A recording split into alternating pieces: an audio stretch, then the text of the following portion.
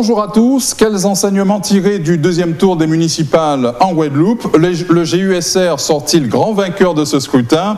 Les prochaines régionales sont-elles officiellement lancées? C'est le décryptage que nous vous proposons de suite avec le politologue Georges Calixte. Bonjour Georges Calixte. Bonjour aux éditeurs de TV. Ce deuxième tour des municipales 2020 fera donc date dans l'histoire politique de la Guadeloupe. Il fera date à deux niveaux. D'abord, euh, avant même l'élection, par le nombre de dissidences. Il y a eu 19 communes où il y a eu des dissidences, donc d'anciens membres de conseils municipaux, qu'ils soient adjoints aux conseils municipaux, qui se sont présentés contre les exécutifs. Il fera date également par le fait que c'est la première fois où il y a eu 11 triangulaires mhm. et une quadrangulaire. Donc il est incontestable que quand on analyse ce scrutin, il faut le faire sur la base justement de ces éléments singuliers et inédits et qui amènent incontestablement à se poser la question de la mutation mhm. euh, qui est en train de se produire sur l'échiquier politique guadeloupéen. Alors, est-ce qu'on peut parler de séisme politique? Alors, je parlerai plutôt d'une accentuation euh, de la mutation. Mhm. Pourquoi euh, De la mutation politique? Pourquoi? Parce qu'en 2008 et en 2014, quand on fait la moyenne, on constate qu'il y a en général une dizaine de maires euh, qui ne se présentent pas ou qui sont euh, battus. Mm-hmm. Là, il y en a eu 14 dont deux qui ne se représentaient pas.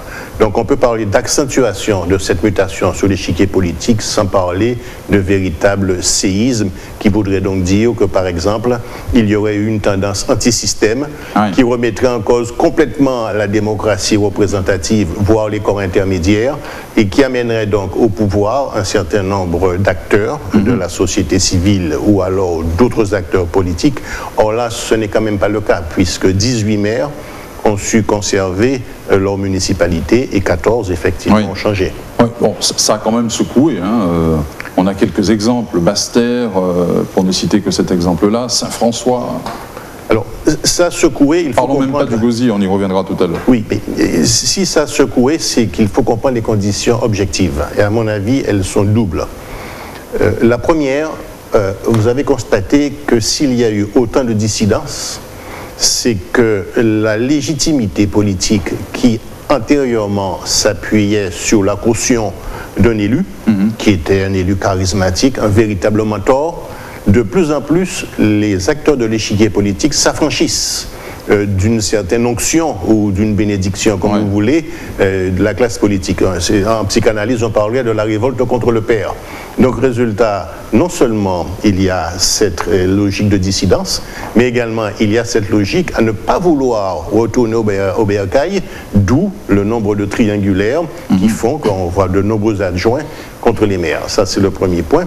Et le deuxième point, il y a incontestablement une crise de légitimité politique et que les conditions étaient réunies pour qu'il puisse, en tout cas par rapport à ce que je viens de dire, à ce que l'électorat puisse mettre plus en conformité euh, ce défi vis-à-vis de la classe politique et traduire ce défi dans les urnes, les conditions étaient beaucoup plus réunies actuellement mhm. euh, en 2020 euh, qu'antérieurement. Donc il y a effectivement cette tendance à évoluer, de avoir évolué les critères de la légitimité politique. Alors qu'est-ce qui, qu'est-ce qui explique justement cette crise de légitimité politique selon vous? Le contexte particulier euh, qui est celui de la Guadeloupe. Mais ce n'est pas spécifique à la Guadeloupe, parce que je vous signale qu'au niveau national également, vous voyez bien qu'après avoir essayé l'alternance droite-gauche qui n'a pas mm-hmm. marché, ou euh, aller vers la République en marche, maintenant c'est l'Europe, c'est les, Verts, l'écologie, qui est en train euh, d'émerger. À la Guadeloupe, certains problèmes sont accentués, on ne va pas revenir au lot, les transports, les déchets, la délinquance mm-hmm. et la santé. Et on est dans une situation où les Guadeloupéens maintenant sont rentrés dans une logique euh, non pas euh, de remise en cause du système, mais euh, de la volonté de traduire un vote sanction au lieu d'un vote d'adhésion. Et il est incontestable que ça a accentué incontestablement le fait que 14 maires, en tout cas, ont été battus et que parmi les maires qui ont été battus, on constate que ce sont ceux qui étaient les plus longtemps implantés, alors soit pour des logiques familiales, soit par l'antériorité de leur implantation, qui étaient les plus implantés euh, mhm. sur le territoire et l'échiquier politique guadeloupéen. Euh, quels sont les déterminants qui peuvent expliquer euh, cette vague de changement? Alors, bien sûr, il y a eu des éléments de nature politique que je viens d'expliquer. Il y a également des déterminants de nature socio-économique. je reste persuadé que le fait qu'il y ait eu ce détachement entre le premier et le deuxième tour, alors ça ralentit une certaine dynamique, mhm. mais la crise du Covid qui a développé un côté anxiogène par rapport à l'avenir, et la conscience euh, que les maires seraient en première position a généré la volonté d'avoir du changement plus que de stabiliser l'électorat, en tout cas l'échiquier politique, alors même que euh, la majorité, en tout cas une bonne partie des élus, n'a pas été en mesure de pouvoir répondre aux aspirations. Donc face au contexte d'incertitude, face euh, au côté anxiogène, euh, l'électorat a tout simplement préféré du renouvellement en estimant qu'il y a mieux à espérer du nouveau que de s'appuyer sur le passé qui bien souvent s'est traduit par un passif. Mhm. Euh, situation euh, exceptionnelle que, que, celle vécue euh, au Gosier, l'émergence cornée était prévisible Prévisible, difficile au départ, parce que n'oublions pas qu'au premier tour, le total des voix des adversaires, ils étaient 10 mhm. au Gosier, le total des voix des adversaires, c'est 5 fois et demi son score. Or, au fur et à mesure, il finit avec près de 1000, 1000, 1400 voix de différence par rapport euh, à son suivant. Alors, quelles sont les conditions objectives? 2400. Non, mais euh, la différence par rapport euh, à Christophe est d'environ, il me semble, 1400. Alors, écoutez, on, va vérifier. il, fait, il fait 4007, Christophe fait 2004-2003. Oui, c'est 2400 à 2400. Écoutez, j'en étais à, 1000, à 1400, je ne sais pas pourquoi. Donc, effectivement, euh, une erreur de chiffre. Alors, qu'est-ce qui s'est passé euh, concernant le gosier C'est la même logique de défi mhm. qui existe euh, dans toutes les communes et qui s'est produite au gosier, vraisemblablement exacerbée par les problématiques de l'eau que l'on connaît. Mais les conditions objectives étaient réunies pour quoi Dans un premier temps, il y a un maire qui s'en va, Dupont, mais il n'y a aucun héritier. Euh, aucune consigne de vote. Résultat, 10 candidats. Objectivement, donc là nous sommes dans la logique mathématique, le lectorat s'est éparpillé et qu'on est sort en tête. Dans un deuxième temps, on constate également que pas moins de 4 personnes se présentent au niveau du gosier. Donc il y a eu cet affaiblissement, en tout cas cet éparpillement de l'électorat, et il est incontestable qu'il y a eu également l'expression d'une volonté de changement que je peux qualifier, à mon avis, et je l'ai dit il n'y a pas très longtemps, comme un véritable pied donné à la classe politique. Mhm. C'est-à-dire que c'est une sanction en disant mais vous avez été, vous n'avez pas pu. Résultat, il y a un jeune qui veut s'imposer, quels que soient les reproches qu'on peut lui faire, d'une manière ou d'une autre. Eh bien, écoutez, il y a une volonté. Et vous me dites alors 2400, ce qui voudrait donc dire que c'est certainement l'élu le mieux élu de la Guadeloupe, en tout cas par rapport euh, au pourcentage euh, de votants. Mhm. Donc on est bien dans une situation où objectivement la division du gosier, l'absence de repères politiques a favorisé le fait que Cédric Cornet puisse bénéficier autour de lui, non pas un vote d'adhésion spécifique à ses idées, mais un vote de sanction dont il a bénéficié, à mon avis, des, retombées. Mhm. Maintenant, c'est vrai qu'il a quelques idées. C'est un vote de rejet? Mais c'est un vote de toute façon de sanction de la classe politique en particulier qui s'exprime dans toutes les communes, mais qui s'exprime davantage au niveau du Gaudier en raison, euh, si vous voulez, de la division. Après, il y a un certain nombre de thèmes qu'il est intéressant de voir qu'il développe. Il dit, mais il y aura un conseil municipal bénévole. Eh oui. Or, vous savez que nos élus l'image qu'en a l'électorat, euh, c'est beaucoup plus une image de cumulard, ce qui n'est pas toujours vrai, parce que ce, quand on voit ce que touche un maire par rapport à l'investissement humain que ça demande, on ne peut pas dire qu'un maire soit bien payé. Mais en fait, vous avez des élus qui cumulent plusieurs fonctions et euh, ce faisant qui incontestablement euh, vivent, sont devenus des véritables professionnels de la politique. On lui, il dit, mon conseil municipal sera bénévole. C'est quelqu'un qui... On demande à voir. On ah, demande non, écoutez, eh ben, écoutez, là, si euh, il ne s'engage pas, en tout cas, il ne prend pas une délibération dès le deuxième conseil municipal, puisque le premier, ce sera pour l'installer avec ses adjoints, ben, il se discrédite totalement. Ça veut donc dire qu'il se met en difficulté au départ euh, de son mandat. Et le deuxième aspect, n'oublions pas que c'est quand même quelqu'un de proximité. Pour la rentrée scolaire, il distribue des kits scolaires. Lorsqu'il y a des difficultés par rapport à l'eau, il s'engage lui-même à transporter des packs d'eau aux personnes qui sont en situation de précarité. Donc il a fait un travail de proximité associé à une grande division à Gosier et qui lui a permis de pouvoir effectivement gagner très largement. On parler maintenant des, partis. Guadeloupe Unie, euh, vainqueur je n'ai pas. Euh, difficile de faire le ratio hein, hmm. entre les deux, puisque, par exemple, on ne sait pas euh, où sont certains élus. Voilà, disons que la droite ben, a quasiment euh, complètement disparu. Donc, il y a le Parti socialiste et Guadeloupe Unie solidaire et responsable, et que ce sont actuellement les deux piliers de la vie politique guadeloupéenne. Après, euh, je suppose qu'il y a derrière les stratégies des calculs politiques. Je dis attention, euh, pour l'électorat, et particulièrement les régionales, euh, il n'y a aucune corrélation entre les municipales et les régionales. On l'a vu en 2015. Alors, on l'a vu en 2015, mais rappelez-vous qu'on l'avait vu en 2004, hein, où Michel Chevry avait pas moins de 21 maires sur sa liste. Mhm. Elle a été battue par mhm. Victor Lurel, qui lui-même a été battu en 2015 par Harry Chalus, alors qu'il avait, je crois, 17 maires sur sa liste. Donc, il n'y a pas de corrélation. Maintenant, il y a une corrélation plus forte au niveau des cantons. Tout simplement parce que le canton a une euh, logique de proximité beaucoup plus importante que les régionales et qui plus est maintenant au niveau des cantons, on est en situation de binôme. Mhm. Et il est incontestable que par rapport au conseil départemental prochain, euh, le résultat des municipales est censé avoir beaucoup plus d'influence et par conséquent, les deux grands partis que sont en tout cas les deux grandes formations qui sont euh, actuellement en Guadeloupe, le Parti socialiste et le GUSR, euh, vont certainement euh, jouer des coudes pour le contrôle des deux assemblées. Mmh. Harry Chalus dans tout ça? Danger? Harry Chalus. Alors, il y a un danger dans la mesure où il, on ne connaît pas très bien quelle est sa position par rapport au GUSR. il y a un accord de travail concernant la mandature du conseil régional, et Guy Losbar l'a encore rappelé hier, mais on ne sait pas s'il y aura un accord de objectif, en tout cas une solidarité mécanique, pour les élections régionales.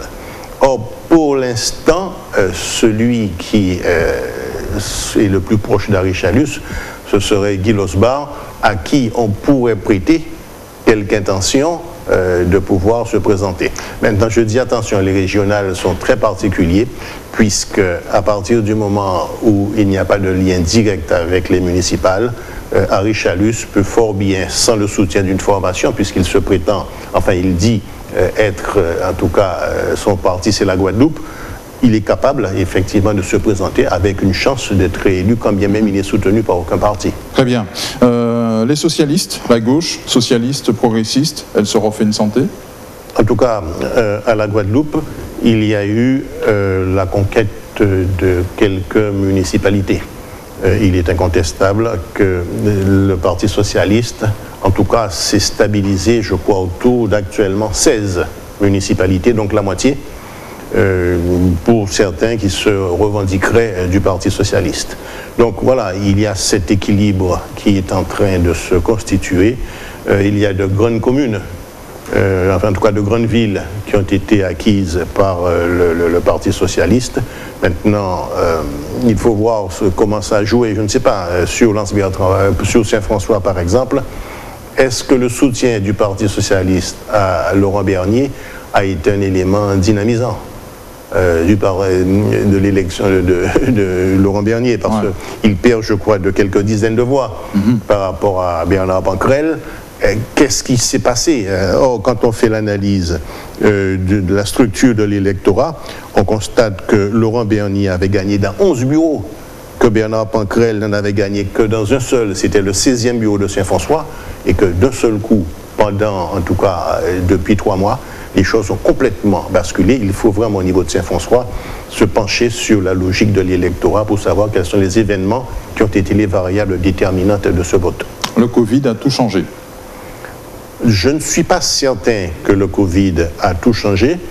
Il n'a fait qu'accentuer la logique de défi, puisqu'entre-temps, il y a eu plus de problématiques plus d'anxiété qui se sont posées aux citoyens, avec le sentiment que les élus sont de moins en moins, ont de moins en moins la capacité, sont de plus en plus impuissants par rapport à la solution de ce problème, de leurs problématiques. Donc je pense que le Covid a surtout contribué à accentuer ce défi. Mais ce n'est pas spécifique à la Guadeloupe. Je vous dis au niveau national, vous voyez bien ce qui se produit au niveau de l'échiquier. C'est à la suite du Covid qu'il y a eu euh, cette logique de rejet des partis traditionnels, quand bien même la République en marche reste un parti euh, neuf, nouveau qui a du mal à s'implanter de manière euh, territoriale, il n'empêche que le Covid a beaucoup plus par son côté anxiogène et euh, amener à mesurer ce que, peut faire, ce que peuvent faire les élus locaux par rapport aux besoins de la population.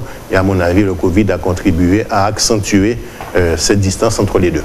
La droite, désormais, en Guadeloupe, c'est le Rassemblement national alors, difficile, puisque le Rassemblement national n'est pas implanté euh, sur le plan, au niveau de son ancrage territorial. Après, euh, comment la droite va se rétablir? Écoutez, personne ne sait, puisque euh, sur, pour l'instant, au niveau de la Guadeloupe, il n'y a plus de, euh, alors non pas de tête de liste, mais il n'y a plus d'éléments charismatiques, en tout cas de leaders charismatiques de nature à pouvoir drainer, en tout cas les, les valeurs de droite et en faire, les transformer en élections politiques. votre analyse, Georges Calixte, des résultats nationaux? L'émergence de euh, l'écologie politique est incontestable. Euh, aussi bien la droite que la gauche, euh, même si il est dit que les écologistes n'ont pas pu réussir sans l'aide du Parti communiste, la France insoumise, voire même du Parti socialiste. Et c'est vrai qu'il y a eu beaucoup d'accords. Il n'empêche que vous voyez bien que Gaudin a perdu à Marseille, hein. donc c'est un pilier de la droite, mais euh, également Gérard Collomb a perdu à Lyon, c'est un pilier de la gauche. Et progressivement, on a vu s'implanter l'écologie politique. Là encore, et je l'ai précisé tout à l'heure, il y a une recherche de l'électorat d'un modèle politique qu'il n'a pas pu trouver. À un moment donné, on a pensé qu'il l'avait trouvé à travers la République en marche. Vous voyez que par rapport aux deux ou trois premières années de mandat, c'est les mandats les plus tumultueux. Tueux, pardon, euh, non seulement tumultueux, mais en plus, bon, on sait bien que le président de la République actuelle avait son programme de réforme et lui, euh, contre vents et marées, il met en place ce programme de réforme. Résultat, l'électorat cherche une nouvelle alternance et il semblerait que Europe Écologie Les Verts soit en mesure de progresser à ce niveau-là, d'autant plus que je vous signale que cette émergence avait déjà commencé depuis le mois de juin dernier avec les élections européennes. Très bien. Euh, pour revenir à, la Guadeloupe, le, temps des dynasties est terminé chez nous? Ce n'est pas seulement le temps des dynasties euh, qui est terminé, c'est le temps du défi qui s'accentue. Et la dynastie est une cause d'accentuation, euh, on l'a vu, euh, du défi. Mhm. Donc à partir de ce moment-là, euh, on est dans des situations où on l'a vu à Pointe-à-Pitre, on l'a vu également à Bastère, où il y a manifestement, c'est l'expression de, de, de, de, cette déconcertation par rapport à la classe politique qui fait que mm, l'héritage politique, la notion d'héritier, au sens où le penseur Pierre Bourdieu euh, n'est plus admis, en tout cas comme tel, euh, comme légitime par l'électorat. Hum. Euh, la politique, désormais, il faudra la faire autrement en Guadeloupe on a vraiment basculé dans autre chose là, là je suis beaucoup plus prudent. Pourquoi je vous le dis? Parce que le système politique en lui-même est un système très régulateur, très stabilisateur. Parce que la Guadeloupe fait exception, en tout cas précurseur. Je vous signale qu'il y a eu, dès le premier tour, 30 143 communes qui ont été renouvelées à 84% dans l'Hexagone. Regardez par loin de chez nous à la Martinique, vous avez 25 communes sous 32 qui, dès le premier tour, ont été renouvelées et on est à plus de 80, on est à 75% des maires qui ont retrouvé effectivement leur mandat. Donc, concernant la Guadeloupe, on est effectivement un peu euh, dans une situation euh, de plus forte euh, contestation. Il n'empêche que si, contrairement à ce qui se produisait, il n'y a eu que 12 communes qui ont été renouvelées normalement au niveau du premier tour, il faut voir nos jeunes élus, les 14, et ce serait intéressant à analyser, comment ils managent les politiques publiques différemment mhm. de ceux qui sont restés et qui sont sur euh, les, anciens référentiels, les anciens créneaux.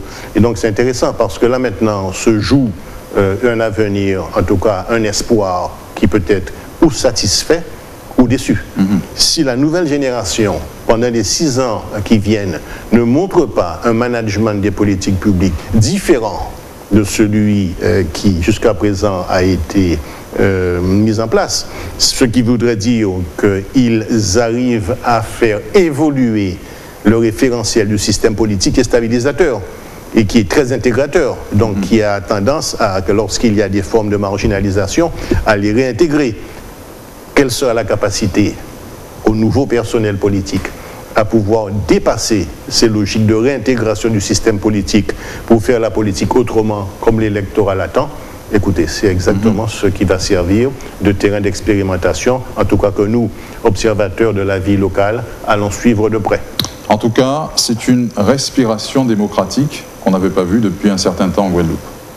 C'est surtout euh, l'expression euh, d'un mécontentement qui s'est traduit par une volonté euh, de renouvellement, en tout cas de trouver une autre alternative que l'alternative qui était présentée euh, de manière classique.